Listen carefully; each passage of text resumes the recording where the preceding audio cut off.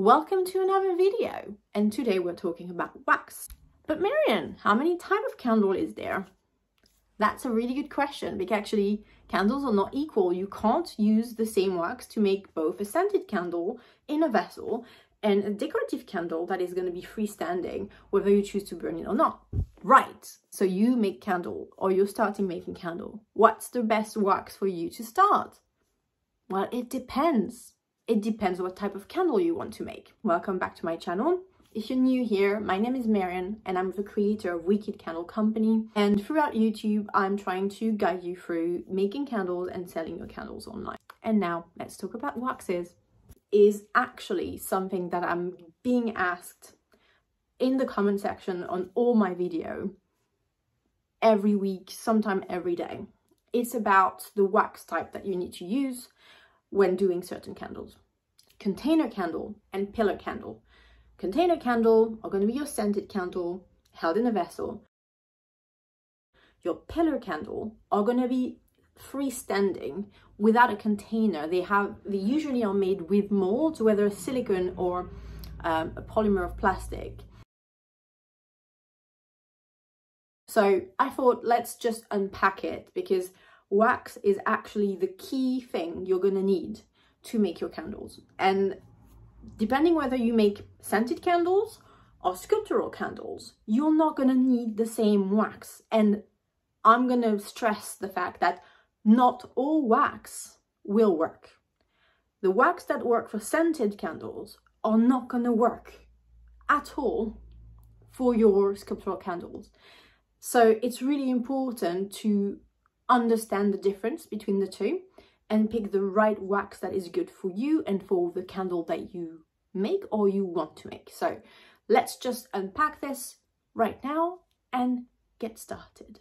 Let's dive into the wax type. Here we go. So you're making scented candles.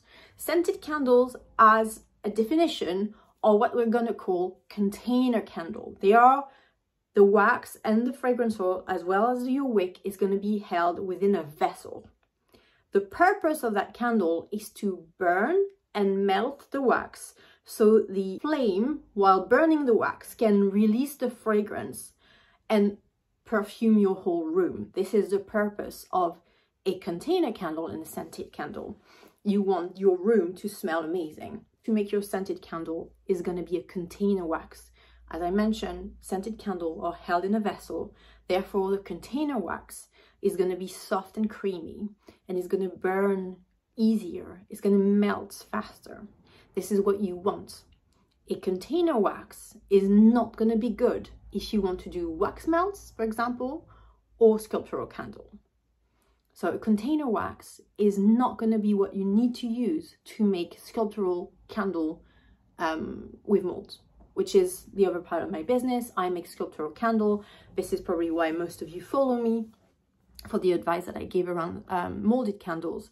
And the first one, the first one that you need to hear is that you need to use a pillar wax. What is a pillar wax? So they need to have two key properties. One, they need to slightly shrink when they um, dry or cure. You'll notice if you make candle yourself that in certain molds, as soon as you start, uh, the, the, the wax starts to dry or solidify, it kind of shrink, um, making it easier to release from certain molds, especially um, not necessarily silicone molds, but in more um, in plastic molds. You'll see that there's that shrinkage that happen uh, when the candles start to uh, solidify. So this is a property of pillar wax. You want your wax to shrink slightly while when you after you pour it so it's easier to release when you use the correct wax and a good quality wax that is made for pillar candle you will not need release spray. The second property that you want your wax to have is that you want your wax to be hard. And when I say hard, I mean harder than a container wax. Like I said, container wax needs to be creamy and soft.